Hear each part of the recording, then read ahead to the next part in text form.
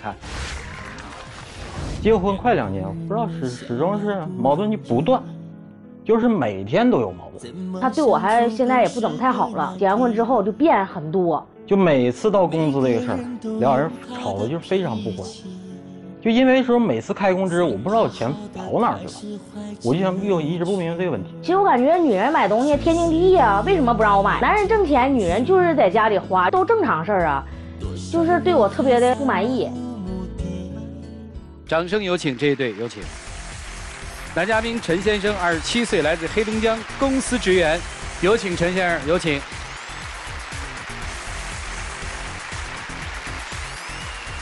女嘉宾沙女士，二十八岁，来自黑龙江，是一名护士。来，有请小沙，有请。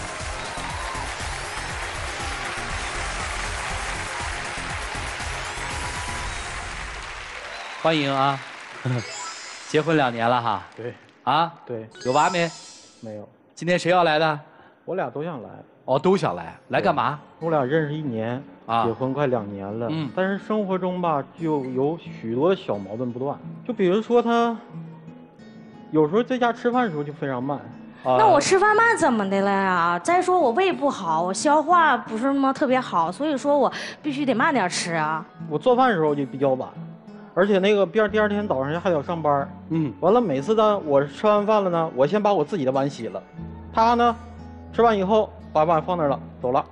那我让你洗了吗？我也没让你洗啊。那你没让我洗，第二天早上碗还在那儿呢。那我后来我不也洗了吗？我没用你洗呀。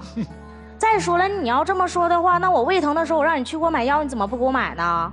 我给你买了，都在家里边药盒里边都放着呢。再说你买那些药，根本我吃完了之后我就感觉不舒服。我说让你再出去再给我买一样药啊，你就不给我买了呀？还有特别能花钱，化妆品基本上就是在桌子上摆一大堆。谁摆一大堆了？再说我每次买化妆品的时候，我都是快使完才买的呀。你这还有，那你要这么说我的话，那你每年情人节怎么不送我花呢？这结婚都快两年了，买花也是可能说年轻人说是买花，但是我这属于那种回去爱过日子，说说，比如说买花浪费钱的，寻思要是买点饭做点菜，搁家家里自己在在家里过不挺好吗？你们家是不是都你做菜啊？基本上吧，关键是，那你每次你应酬的时候，我一打电话催你，你还不愿意。我每次你给我打电话的时候，都是在领导跟前儿。每次他一打电话了，正好是我们快吃饭，刚吃饭的时候，刚吃饭的时候，我寻思我跟领导说，我说主出去接个电话，完我出去一趟，告诉他了，我说我那晚点回去，最后第二遍还打，没完没了。那我打我不是关心你吗？就还有就是他跟女同事吃饭的时候啊，不告诉我，他说他回娘家了。我每次给我丈母娘给我给我我老丈人打电话，我说他是回家吃饭去了吗？完了那个我丈我岳父说跟我说没有啊，不是，我这不怕你那再多想嘛，因为我同事男男女女都有，所以说我怕你再多想嘛。那还有一个家里还有一个事儿呢，你说我在客厅里抽烟，我什么时候在客厅抽烟了？你怎么没吸烟呢？烟味儿还特别大，你不知道我有鼻炎吗？那每次我是在客厅，因为我每次要要工作的时候我要赶稿，我跟他说我说我说搁屋我搁客厅抽烟，你就进进屋主卧吧。完了让他回主卧了，我说要你顺便把门关上，完他还不关门。你关上之后那个烟味儿不会进来吗？那家里有空调，再说了开个空调开个窗户，他那玩意儿也也不是说也不能怎么冷。再说现在是冬天，你让人开窗，你让让我冻感冒了啊？还有啥事儿啊？两位再就是他说有时候他说我我说我不刮胡子，啊，说我不刮胡子。对，人家正常男人都一到两天刮一次，你是四到五天刮一次。我每次不上班的时候，因为我们没有正式会议的时候，因为领导都不在，我们可以随便，我可以想刮就刮。因为不上班，我不可能那么讲究。但是我感觉男人要是作为一个男人的话，不刮胡，我感觉显得特别脏。那你要说我脏的话，那家里边的衣服，有时候基本上都快摞一个星期了。我告诉你洗，你怎么不洗啊？我怎么没洗呢？我不抓空就洗了吗？一个星期洗一次，完之后有时候一个星期我也洗两次。抓着有空的时候，我工作不也忙吗？也倒夜班吗。你倒夜班，每次你下班的时候都比我早，你四点多以下以后就下班了。我呢，我每天到七点，或者是再晚点，有时候就八点，我就感觉你太不。体谅人了。你知道，作为一名护士的话，一天下来的话也挺累的，那你要这么说的话，你还总去上网呢，打网游呢？我每次上网，我跟他说了，我说那个，因为单位吧，他有时候赶那稿，他还怕我搁家抽烟，完我寻思实在实在不行，我就出去上网吧，跟我妈整吧。跟我妈整完了以后呢，回来的回来的也比较晚，完他就说我上网上时间长。那本来就是啊，再说第二天还得上班，我得注意休息。那你这个东西，你上时间也得有限的，不能说一直上啊。二十二十七，什么时候要娃？觉得应该是事业先稳定一些，要不没时间。现在最不稳定的是什么？因为我们那个最不稳定的话，就是这个工资这个问题，因为我俩花销有时候花销都比较大。月光。差不多。差不多。什么时候想要娃呀？我想在那个，就是感觉着自己就是能控制住，不达到那个月光族的那个状态以后，这样，要不然的话孩子怎么办呀？在这个问题上，夫妻双方是一致的哈。对对，我们条件再好一点。嗯，对。这不是挺幸福的吗？哪家夫妻不为这点破事儿吵啊？你们到底怎么？吵完之后还理对方吗？有时候打过冷战。哦。嗯。就吵完之后就不再理对方了。你基本上就是有时候，因为我是我身为男人，也不可能动手，只能说是走，要不就是自己出去出生闷气去，要不就是我自己走了。你指的出去和走了是指离开家吗？基本上就是你有时候离开家了。明白了，这才是问题的关键。因为很多的琐事，夫妻争吵，但是还好，一对年轻人觉得说我们这争吵可能不是回事儿，对，所以想调整，对吧？对，好，来吧，老师们，你们给看看怎么办吧。我们一起进入丘比特问卷。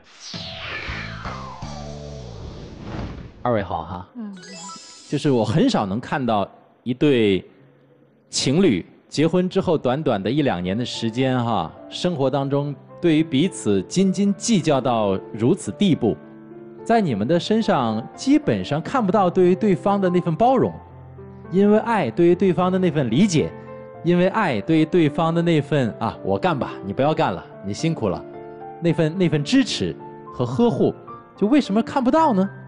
我们虽然说就是婚前婚婚后两个人都会有变化，但是另一方面，责任呢？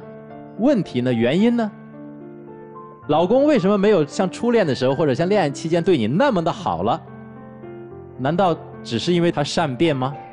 跟你的自我管理、你的、你的平时的这种日常表现、你的魅力的魅力值直线下滑有没有关系呢？我们也发现，不是所有的老公结婚之后都 都变得很糟糕，或者是假面具一撕，不是的，也有很多结婚之后比结婚之前还更加疼爱自己的老婆，大有人在哦。那为什么他们没有变呢？那反过来，我觉得男孩也是要检讨，对不对？为为什么结婚之后，老婆变得斤斤计较，哒哒哒哒哒哒哒？那是不是你某些地方不对了？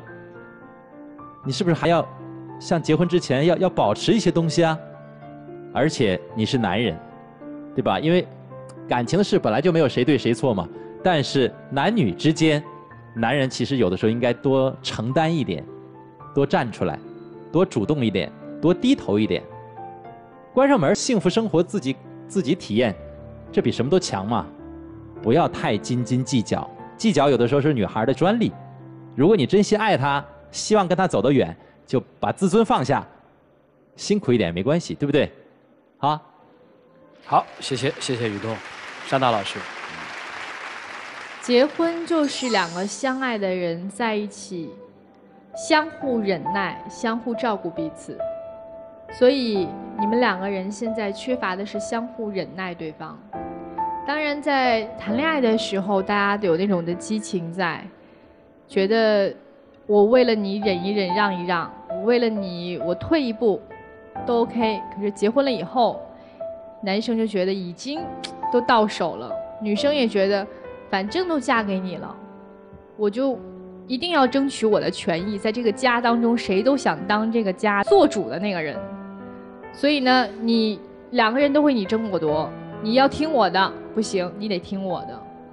在婚姻生活当中，没有谁是一定占主导权的，夫妻就是协同作战，两个人商量着来。如果学不会忍耐，学不会协商的话，那迟早婚姻会亮起红灯。在这，我要想说，多说女方一点，就是有的时候太咄咄逼人的话，会给自己僵到一个死胡同里面。就是你知道，你们两个人的吵架就是那种无理取闹型的吵架，而且吵架是奔着解决问题去的，不是发泄情绪和耍小孩子脾气的。所以，如果真的想要好好的相爱的话，先学会好好的吵架。男生这边，我奉劝你的是，结婚前什么样，结婚后，请你做到百分之七十。如果做不到的话，那你结婚前就不要做的那么满。要不然的话，你结婚之后的这样的一个状态极度的转变，对女方来说肯定是接受不了。所以，总归一句话，相互的忍耐，相互包容，婚姻才能继续的往下走。祝你们幸福，谢谢。好，谢谢沙大老师。来，涂老师。都说最好的婚姻，再好的婚姻，它也会有几十次分手的想法。离婚的念头和数千次想要掐死对方的冲动，但是很多人选择了忍，或一忍再忍，这种忍是一种主动的。不要渴望去改变你的爱人那些所谓的习惯，我告诉你，你死了这条心。事实证明，很多结了几十年金婚的夫妻，是对方身上的那些秉性，一辈子都改不掉。但是虽然改不掉，但有些人会有一点敬畏。就比如说，如果你身上有一个缺点，你改是改不掉的，但是你为了让对方舒服，你会有点不好意思，或者假装的糊弄那么两下，那说明你内心在乎。你们连现在糊弄对方都不愿意糊弄了，你们俩还在一起干什么呢？所以有的时候啊，你会发现没有，就爱一个人呢。是一边忍耐着，又一边宠爱着。就比如说，你说他吃饭慢，对不对？每天嘴里念念叨叨的说你吃饭慢，吃饭慢，吃饭慢，念着念着念着，等他吃完了，你还是把碗给收拾了，这叫爱。每天说他一天到晚网购、网购、网购，花那么多钱，说着说着说着说着，念叨着念叨着，又把他购物车里的东西给清空了，这就是爱。只有第三者或者是旁观者才会一味的去指责，但只有爱人在一边说着，一边又帮他完成了，这是真实的人性。谁家里不是这样？一边说着我们家那死鬼又喝酒去了，等他回家之后倒热茶、敷热毛巾、换好拖鞋，这就是爱呀。只有爱人会在两难的过程当中选择付出，嘴里面的念念叨叨那是一种发泄，但是。在发泄的同时，还是以关爱着对对方的方式来包容这些缺点，那就是爱，这就是生活的本来。所以，如果你们只知道指责，指责过后不能够去承受，那就不要在一起。因为在这个世界上，从来就没有完美的人，明白吗？就这样吧，祝你们幸福。好，谢谢杜老师，听懂了。以后陪他吃饭吧，啊，还有一个就是，我一直觉得这是一个大问题。我们说是这么说哈，包容什么？你们俩有一个下班之后能够坐在一起，共同待两个小时的那种爱好吗？你们回家去找找。如果你们真有，天天都有那两个小时的话，你们不会这么吵。还得还得找，还是有方法。其他的不说了，我觉得两个人还是积极向上的。我们想改这个婚姻。千万不要做两面人，一边说我们想这个婚姻幸福，我们来这儿了，一边真的回到家里的时候，我们还是恢复以前那个状态，好好的吧，你们，来一起进入那几天喝古方红糖真情六十秒。我俩其实结婚算两年了，经过了很多风风雨雨，有可能说我这人可能说太小心眼儿，也有可能说对他可能是不不太好。希望就是，如果说，我希望我可以把我自己这些不能容忍的和不能看得开的一个小毛病改掉，去对他好。因为我也想要被包容，不想说天天回去每天看着一冰一张冷冰冰的脸。希望我以后工作时候能多包容我一些。啊，你说的话呢，我我也会深思一下，我以后也看看，我会改改我的毛病。谢谢两位，请回吧。啊，谢谢你们啊。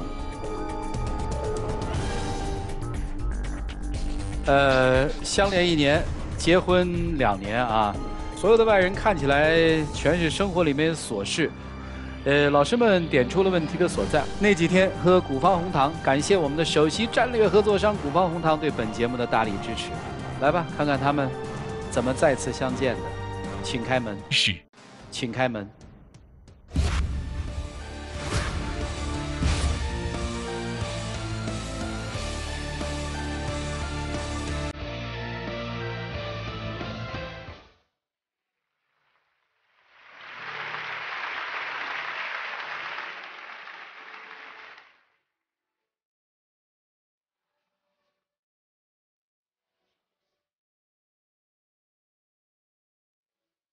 女生，你想好了才出来的哈？你想的啥？你能告诉我们吗？我还是就是以后把我的毛病改一改。你啥毛病？嗯，就是不能包容他。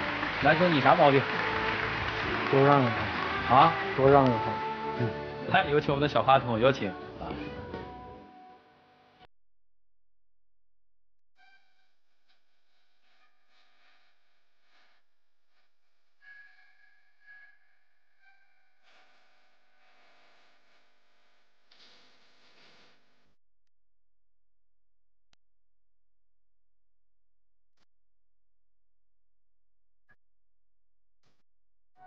本环节礼品是由伊贝诗提供的水嫩保湿礼盒，在伊贝诗保时节期间加十元送一套纯净级保湿，实时透水嫩，要保湿伊贝诗，保卫爱情，呵护那几天。成功牵手的嘉宾将获得由古方红糖提供的爱情保卫战那几天呵护礼盒一份，来见证属于这对夫妻的浪漫时刻，各位请见证。